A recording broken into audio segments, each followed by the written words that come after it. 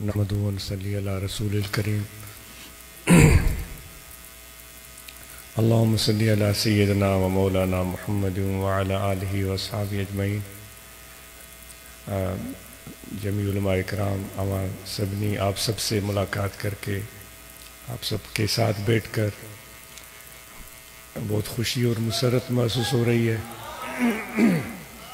अलहमदिल्ला आपकी वाबस्तगी और ताल्लुक़ दरगाह लावा शरीफ और जो मराकज़ हैं हमारे मुर्शद कामिल के और मदारस हैं, उनसे रहा है, वहीं से अपनी तरबियत और तलीम हासिल की, फिर अपनी ज़िंदगी के सफ़र को आगे जारी रखा। मुख्तलिफ़ मकाम मुख्तलिफ़ जगहों पर मुख्तलिफ़ हैसियतों में काम करते रहे और जमीत का भी बुनियाद डाला गया इसी दौरान। और फिर उसके वक्ता फ़वक्ता मुख्तलफ़ नोयत के अजलास होते रहे और ये सफ़र चलते चलते यहाँ तक पहुँचा कि बेहतर और मनज़म अंदाज में अब आप किसी एक दिन जमा होते हैं, उनसे गुफ्तु करने का मौका मिलता है, उनको देखने का मौका मिलता है, ऐसे चेहरे के जिनको शायद पूरा साल जिनको देखने का मौका ना मिलता हो कराम में से। तो ऐसे महफिलों में और ऐसे इजलास में उनको देख लेते हैं, जो बहुत अच्छा लगता है। और इसी सिलसिले में ये भी बड़ी अच्छी बात है कि मुनज़म तरीके से काम, जो रिपोर्ट जमीत ताहरिया सूबे सिंध, उन्होंने बताई वो भी सुनने का मौका मिला, जो उन्होंने बाहमी ताल्लुक़ और रबता रखा हुआ है, वो सुनने का मौका मिला। फिर जो उन्होंने फलाही काम किए हैं, उसका तस्करा हुआ। जो ब्रांचेस की तादाद है, या जो ज़िले हैं, उनका, उनकी मालूम मिली। और साथ में ये भी कि वो क्या कुछ कर रहे हैं, किसी हद तक एक आध अल्फाज उसके मुतलक भी सुनने को सुनने को मिल गया।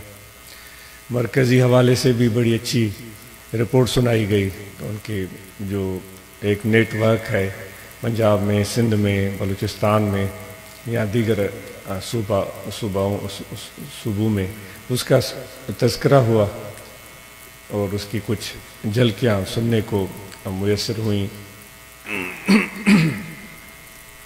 मजरत है। तो वो एक अल्हम्दुलिल्लाह अच्छी बात थी। तो इस हवाले से आज को नोट नहीं ले सका कि क्या कुछ आपकी मसरूफियात हैं। आप बेहतर समझ सकते हैं, समझदार हैं और ये इज्तमाही एक सोच भी होती है, इनफरादी सोच भी होती है। फिर ये आपको प्लेटफॉर्म भी मैसर है, अपने ख्यालात को अपने दोस्तों के सामने पेश करें, उस पर गुफ्तु हो, तबादला ख्याल हो, जो बेहतर काम हो, बेहतर शक्ल हो, बेहतर सूरत हो, उसको अख्तियार किया जाए। तो आप माशाल्लाह समझदार हैं और इन चीज़ों को बहुत अच्छा समझ सकते हैं। दोस्तों ये तो हमारे इस तंजीम का एक सफ़र था। बहसीत मुसलमान हमने जो एक हजूर सलाम के उम्मती की हैसियत में जो हमारा सफ़र शुरू हुआ है, वो तो सदियाँ पीछे से। और वो चलते चलते चलते उसके ऊपर भी बड़े मराहल आए होंगे और बड़ी सियासी हुकूमतें और ज़माने की जो असरात हैं, वो मुरतब होते हैं। न सिर्फ़ आम मुसलमानों पर, बल्कि पर भी उस चीज़ों के असरात पड़ते हैं। और फिर वो चीज़ें जो ज़रूरी होती हैं, वो भी रिवायत का हिस्सा बन जाती हैं, जो गैर ज़रूरी होती हैं, वो भी हमारी रिवायत का हिस्सा बन जाती हैं। और मनो अन हम उस पर अमल करना ज़रूरी समझते हैं। अगर उसमें से कोई मामूली चीज़ भी आगे पीछे हो जाए तो हम चीन बजबी होते हैं, परेशान होते हैं, ये क्या हो गया? ये क्यों हुआ? तो ये सारे सिलसिले ऐसे ही चलते रहते हैं। लेकिन एक बात तो हजूर सलाम ने वाज फरमाई है कि उलमा का मकाम मेरी उम्मत में बहुत आला है। अब उलमा एक लफ्ज़ है, आलम, जो इल्म से लिया गया है। तो कभी आप ज़रूर इलम क्या है, कभी डिक्शनरी खोल कर ज़रूर इसकी माना को यहाँ से वापस जाए ना, अच्छी मुस्तनद डिक्शनरी हो। ओलमा इसका कुरान मजीद में भी ज़िक्र आया है। अहादीस में भी उसका ज़िक्र आया है। कोई मुस्तनद अच्छी डिक्शनरी तो इल्म क्या है? क्या वही इल्म है जिसको हम समझ रहे हैं कि भाई वो कंज, कदूरी, काफिया, जामी, ये सारी चीज़ें हैं? और यहाँ कुछ और है। ये है क्या? तो वो ज़रूर एक दफ़ा ये जहमत कीजिएगा, इल्म है क्या? उसकी तारीफ़, तोसीफ तशरी और वो वो वाने के एक सतही अंदाज में नहीं, या अपनी पहले से लगी बंदी राय बनी हुई है कि भाई मैं तो आलिम हूँ, इसमें तो कोई शक ही नहीं है। यानी ज़ुबान से नहीं, लेकिन मेरे दिल में ये, मैं अपनी बात कर रहा हूँ, मेरे अंदर में ये बात छुपी हुई है, मैं तो हूँ, इसमें तो कोई शक ही नहीं। चलो देख लेते हैं ये डिक्शनरी वाला क्या कह रहा है। इस तरह नहीं, बिल्कुल एक न्यूट्रल होकर दरमियाना इंसान बनकर फिर देखें, फिर हम जायज़ा लें कि इलम है क्या। और फिर हम जो है अपने आप को कुछ किताबें पढ़ने के बाद जब आलिम के सरापा में ढल जाते हैं, क्या वो एक एक एक मुरवजा लिबास हम जेबतन करते हैं और कुछ दस्तार और कुछ कपड़े और फिर एक मुकम्मल शक्ल और सूरत में हम ढल जाते हैं।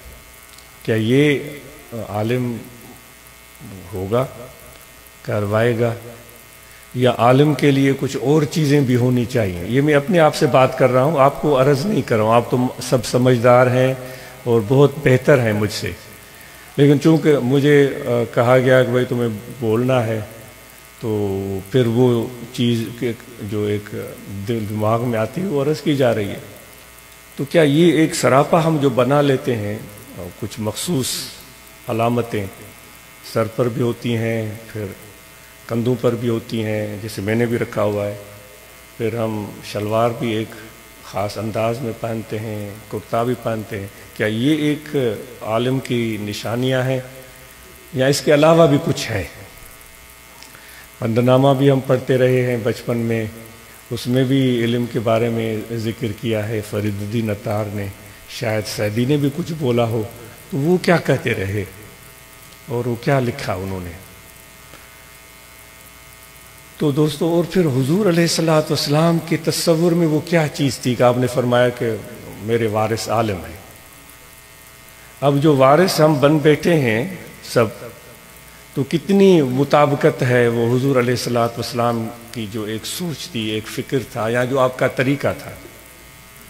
उससे हमारे अमाल कितनी मुताबकत रखते हैं? ये भी एक सोचने वाली बात है। आपने कभी खुतबे पर बैठकर किसी के बारे में वो जो गुफ्तगु फरमाई हो, वो किस तरह की थी? भाई, वारिस तो हम कहलवाते हैं ना, वो तो बड़े बड़े माशाल्लाह तरल्ले से बोलते हैं और कोई चैलेंज नहीं कर सकता। तो फिर हम इस मेंबर मेंबर को भी कहते हैं, ये मेंबर रसूल है। ऐसे?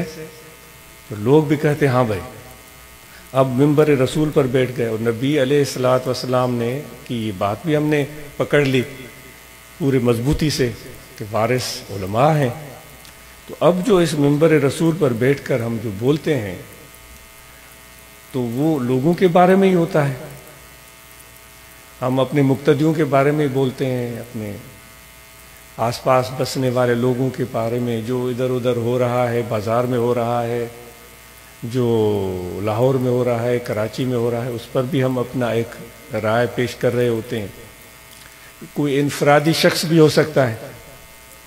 तो उसको भी हम अपने जहन में रखकर नाम कभी लेंगे, कभी नहीं लेंगे, लेकिन उस पर हम वो कहते हैं, एक वो कहते हैं, जिसके हाथ में हथौड़ा हो, जिसके हाथ में हथौड़ा हो तो फिर उसको हर जगह कील ही नज़र आता है। हथौड़े और कील की दोस्ती आपको मालूम है? हथौड़े और कील की दोस्ती क्या होती है? क्या होती है? हथौड़े और कील की दोस्ती किस किस्म की होती है? मैं इसलिए तवक्कुफ कर रहा हूँ आप खुद सोचें।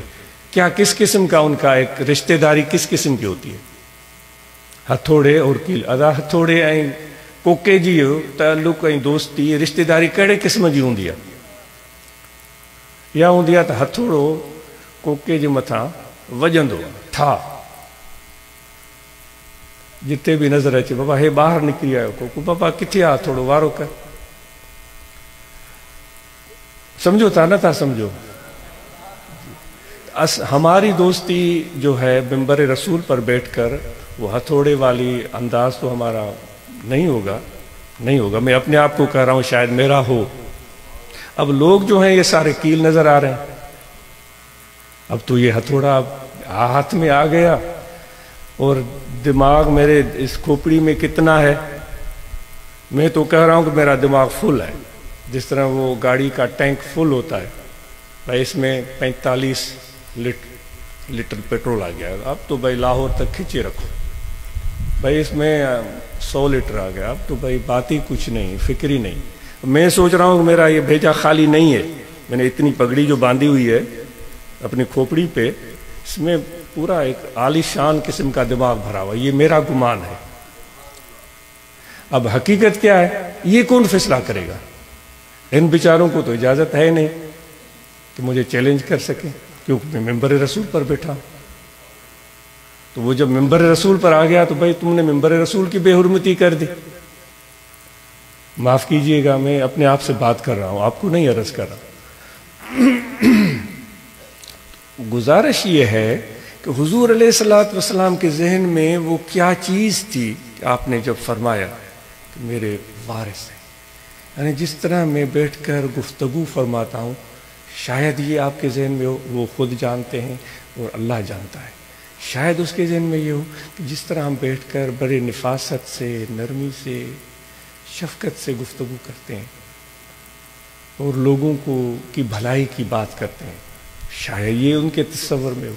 शायद ये तस्वर हो कि जो हम बैठते हैं तो बड़ी मुख्तसर गुफ्तु करते हैं। इतना लंबा नहीं बोलते, शायद ये तस्वर हो शायद ये तस्वर हो कि जिस तरह हम माफ़ कर देते हैं, उलमा भी ऐसे होंगे? शायद ये तस्वर हो कि जिस तरह हम बेयारो मददगार लोगों की खिदमत करते हैं, हो सकता है। आप खुद सोचते जाए ना, वो आपके जहन में क्या आता है? शायद ये तस्वर हो कि जिस तरह हम मेज़बानी मेहमानों की करते हैं। शायद ये तस्वर हो जिस तरह हम हाथों में झाड़ू पकड़ लेते हैं और घर का झाड़ू सफ़ाई का काम हो रहा हो शायद ये तस्वर हो कि जिस तरह जंगल में जाते हैं, लकड़ियाँ ले आते हैं। अबुल हसन खरकानी से बू अली सीना मिलने गए थे। तो बू अली सीना सैदी कहता है, शायद आप खुद पढ़कर देखें, बोस्ता में होगा। कहते, मैं जब गया, मैंने उस शख्स को देखा कि वो दीवार पर बैठा हुआ खुद ईंटें चुन रहा था। हालाँकि अबुल हसन खरकानी तो इस सिलसिले के बड़े मशहूर बुज़ुर्ग गुजरे हैं। कहते मैंने उनको देखा कि वो अपनी दीवार पर चढ़कर ईंटें चुन रहा था। यह है? और हमारे पीर कुरेशी रमतुल्लाह ताला से कोई हाथ मिलाता था तो उसके हाथ को टटोलते थे, और फिर वो जब हाथ सख्त होता था तो खुश होते थे कि भाई, ये मेहनत करने वाला बंदा है। अब हमारे हाथ की सूरत हाल क्या है? कितना सख्त है और कितना काम किया है? क्योंकि हाथ तो इस्तेमाल किया ही नहीं है। हमने तो सिर्फ़ ज़ुबान चलाई है और गले को चलाया है। और गला चल चल के, चल चल के वो इतना, वो कड़क आवाज़ हो गई है। उसमें एक ख़ास किस्म का पिच है और ले है, जो एक एक एक एक तसलसल के साथ यूँ फैल जाती है। हमको सुकून मिल जाता है कि भाई इतना, यानी कि ये ये होगा तस्वर। आपका क्या ख्याल है? हुजूर सलाम कुछ न कुछ तो होगा ना हजूर सलाम के जहन में। ये सोचिए ये एक और बात आपके जहन में ये दो सवाल हो गए। एक तो इलम की माना देखनी है मैं भी ज़रूर देखूँगा इनशाला आपने अच्छी तरह डिक्शनरी खोल के चेक करना है कि वो इलम है क्या किस आ, किस बला का नाम है ये देखने की ज़रूरत है। दूसरी बात ये अर्ज़ की जा रही है मेरी बात तवील हो रही है बहुत माजरत है और अच्छा तो बस इसको अब ना इस तिवालत की कोई इसकी ज़रूरत नहीं है।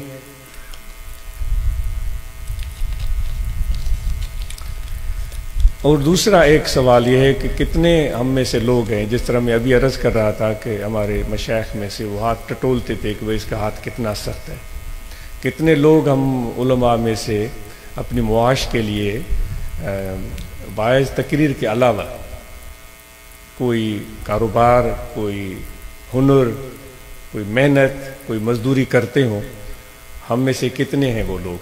आज ये आपको जहमत नहीं देगा कि आप हाथ ऊपर करें, आप खड़े हो जाएँ, बिल्कुल भी नहीं।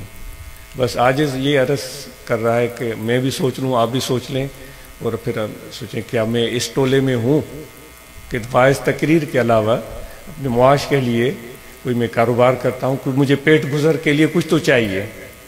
मेरे बच्चों को भी कुछ देना है। तो कितने हैं इस जमघट्टे में वो लोग जो कोई कारोबार करते हैं, कोई हुनर, वो जानते हैं और हुनर के ज़रिए कमा रहे हैं, कोई मेहनत का काम कर रहे हैं, वो कितने हैं वो लोग? शायद कभी आपको इल्तिजा की जाए कि भाई वो हमें ज़्यारत कराएँ। शायद कभी ऐसा भी हो। क्योंकि हम तो हर वक्त मेकअप में रहते हैं ना। वो मेकअप तो ख़राब होने ना पाए। अब जब ये मेकअप हर वक्त रहेगा तो ये अगर मैं यहाँ गठड़ी रखूँ तो ये मेरे अमामा का मेकअप तो ख़राब हो जाएगा। तो ये मैं कैसे पसंद करूँ? तो वो कितने लोग हैं जो इस हवाले से अपने मुस्बत, यानी कि हाँ बोल सकते हैं। आप अपने दिल से बोल रहे हैं, यहाँ आज को तकलीफ़ आज को नहीं दी, आपको नहीं दी जा रही। अगर वो हैं, उनके लिए बहुत बहुत बहुत बहुत दुआएँ। बहुत दुआएँ और उनको मुबारक। और एक दोस्त है, नौजवान है, मैं नाम, वो दोस्त कहते हैं कि नाम न लिया करें, वाकई अल्लाह अल्लाह जानता है, वो मैं ले रहा हूँ, साकिब यासीन। उसने मुझे मैसेज किया है दो दिन पहले, आज ने अभी तक उसको जवाब ही नहीं दिया। उसने लिखा कि मैं मदरसा चलाता हूँ, फिर मैंने एक स्कूल है हमारे गाँव में, सागरी में, उस स्कूल के साथ मैंने कैंटीन खोली जहाँ मैंने थोड़ी थोड़ी चीज़ें रखी। फिर मैंने देखा कि वो काम वहाँ बच्चों के स्कूल में ज़रूरत है फिर मैंने चीज़ें बढ़ाई। कापियाँ रखी, उन बच्चों के लिए स्नैक्स होते हैं, बिस्किट छोटी छोटी चीज़ें, फिर पेंसिलें, कागज़, कलम। बढ़ते बढ़ते वो काम इतना बढ़ गया कि मुझे मजबूरन शायद उसने ये लिखा है कि मैंने अपने भाई को बिठा दिया। फिर मैंने कहा, मैं क्या करूँ? अब मस्जिद पढ़ा रहा है या मदरसा पढ़ा, उसने लिखा कि रोज़ाना मुराकबा होता है, दो टाइम गालबन लिखा। और मदरसे में पढ़ाता हूँ, वो सारे काम उसने लिखे। उसके साथ इन एडिशन ये चीज़ें। फिर मैंने सोचा, मुझे, मेरा भाई बैठ गया, मैं क्या करूँ? मैंने मैंने, वो कह रहा, मैंने एक और दुकान खोल दी। वो अब दुकान चल पड़ी है, उसमें भी काम चल पड़ा है। अब लोग मुझे बोलते हैं कि भाई आपने तो मदरसा पढ़ाना है, आपने तो मस्जिद में नमाज़ पढ़ानी है, आपने तो मुराकबा कराना है, ये क्या कर रहे हैं? आप एक तरफ़ हो जाए। उसने मुझसे ये बात पूछी, मैं आपसे पूछता हूँ कि उसको क्या करना चाहिए। आप बताएँ, उसको क्या करना चाहिए? लोग उसको कह रहे हैं कि भाई ये काम दो दो तीन तीन कैसे होंगे? आप मुझे बताएँ कि मैं उसको क्या जवाब दूँ। आज तक ये उसको काफ़ी दिन हो गए आज इसने उसको जवाब नहीं दिया है। आपसे मशवरा तलब कर रहा हूँ कि भाई आप बताएँ उसको क्या जवाब दें। ये भी एक सोचने के लिए बात आपके हवाले है। हज़रत अली रदी अल्लाह तला ने अपने ज़माने में, खिलाफत के ज़माने में गालबन बसरा में तशरीफ़ लाए। सिर्फ़ इस नीयत से कि यहाँ वायज़ और नसीहत तकरीरें कौन करते हैं? तो हर मस्जिद में जाते थे, पीछे बैठकर आराम से उसका मौलवी का या वायस का तकरीर और किस्से सुनते थे। फिर आप मायूस हुए। कहते हैं, पता नहीं कितनी मस्जिदें होंगी, बसरा था या कोफा था वल्ला आलम। आया उलूमुद्दीन ने गजाली रमत ने लिखा है, आप देख लीजिएगा। जो वायजीन के लिए उन्होंने अलग से बाब कायम किया है ना उसमें उन्होंने लिखा है। तो उन मसाजिद में जो वायज करने वाले थे, सबको उन्होंने मना कर दिया, भाई तुम क्या करते हो? किससे कहानियाँ सुनाते हो? और मेंबर रसूल पर बैठे हो। उनको मना कर दिया। पता नहीं कितनी मस्जिदें होंगी। एक शख्स को इजाज़त दी। गालबन वो आ, नाम अबुल हसन या कोई ऐसा नाम उनको इजाज़त दी कि हाँ ये शख्स ठीक बोलता है। तो यानी इतनी ज़िम्मेदारी का काम है। अब हम और आपका ताल्लुक हुजूर की ज़ात से है, जिनके बारे में अल्लाह ताला फरमाता है, सब जहानों के लिए रहमत है, अपनों के लिए बरामत हैं, गैरों के लिए बरामत हैं, दोस्तों के लिए बरामत हैं, दुश्मनों के लिए बरामत है। और रऊफ रहीम के नाम से अल्लाह ताला ने उनको याद किया इतनी शफकत फरमाई, इतनी शफकत फरमाई कि अपने घर में भी कोई चीज़ खाने के लिए मुयसर नहीं होती थी, दोस्तों को दे देते थे। अब आप और हम जब उनकी तरफ़ हम नस्बत रखते हुए अपनी जिम्मेदारियाँ पूरी कर रहे होते हैं तो क्या हम ज़माने में लोगों के दरमियान मोहब्बतें बांटते हैं, उनको जोड़ते हैं, उनको आपस में मिलाते हैं, या उनके अंदर फसाद या ज़मीन, अल्लाह की ज़मीन में फसाद फैलाने की का बायस बनते हैं, खराबी पैदा करने का, वीरानी पैदा करने का बायस बनते हैं? मुझे पता नहीं, आज इसको पता नहीं, ऐसा इतफाक कम हुआ है। कभी वाय सुनने का कम कम इतफाक होता है। तो ये आप सोच लें। और जो गुफ्तगु हम करते हैं, उस गुफ्तगु से लोगों के अंदर उसके असरात क्या मुरतब होते हैं? उसके फ़वाद और समरात क्या मुरतब होते हैं? मुझे आजिज़ को इसका बिल्कुल एहसास है कि आजिज़ एक लगे बंदी दुनिया में रहता है। वो इतने, यानी कि बाज़ारों में, शहरों में, लोगों के पास, देहातों में जाना, मिलना, उठना, बैठना, आज इसकी सोच या मालूम महदूद है। आप जो हैं वो उठते हैं, बैठते हैं, उलमा से, अवाम से, लोगों से, आपको मुझसे बेहतर मालूम होगी। ये तो बात बहुत अहम है, क्योंकि हम एक जमायत का हिस्सा हैं। तो जमात का हिस्सा होते हुए हम मरकज़ की रहनमाई और हिदायत को ये एक ताकीदी बात है। हर वक्त मद्देनज़र रखें कि जमात का तरीक़ेकार क्या है। हम जब उसका हिस्सा हैं तो हम उस उसके उस तरीक़ेकार से कभी भी हटने न, न पाए।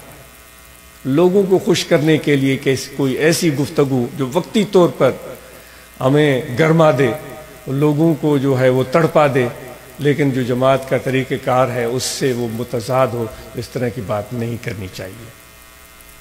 ये गुजारिश है। और बड़ी अच्छी बात है कि मसाजिद में जब आप रहते हैं तो वहाँ बिल्कुल बुनियादी, ज़रूरी मसाइल लोगों को बताएँ, ताकि वो शरीयत के इल्म से वाकिफ़ हों। और उनको फंसाएँ भी नहीं, उनको उलझाएँ भी नहीं, उनको तंग भी न करें, और तिवालत में भी न जाएँ। आसान करके उन लोगों को बताएँ। अल्लाह ताला के हबीब ने फरमाया कि लोगों के लिए आसानियाँ पैदा करो, सल्लल्लाहु अलैहि वसल्लम। तो इतना उलझाए नहीं कि वो बेचारे की वो मत मारी जाए, वो तंग आ जाए।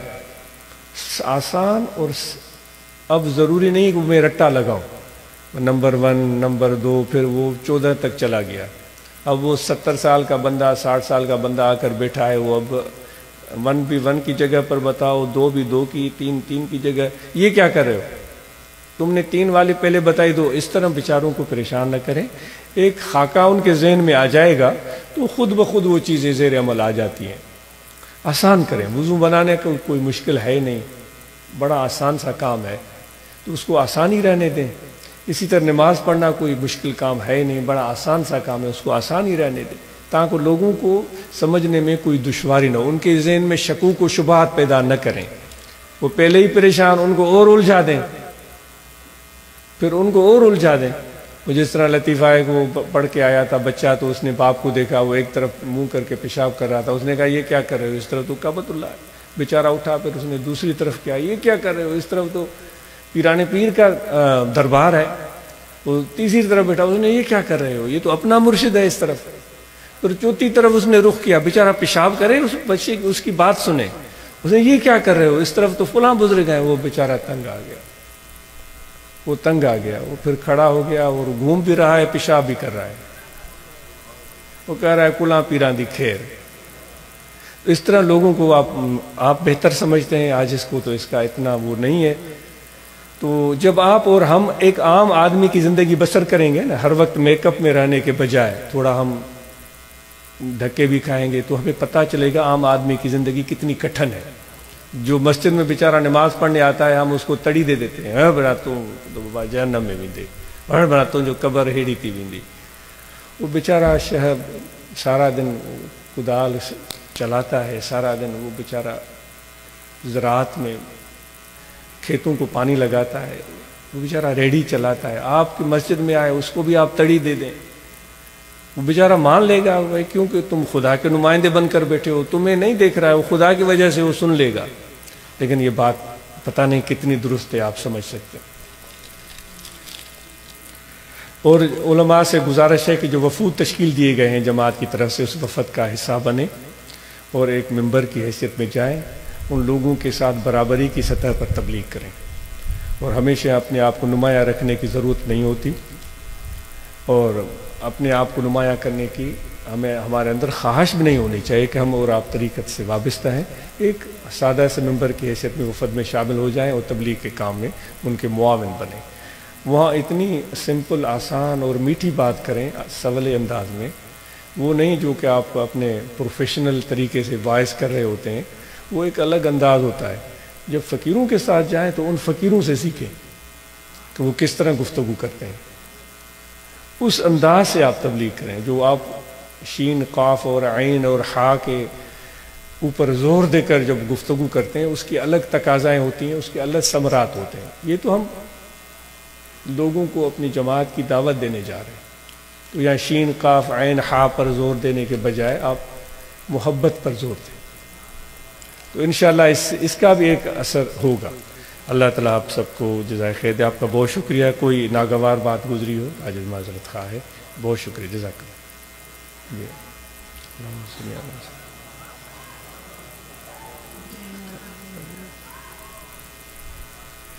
सल्लल्लाहु अलैहि वसल्लम मोहम्मद वाली वसल्लम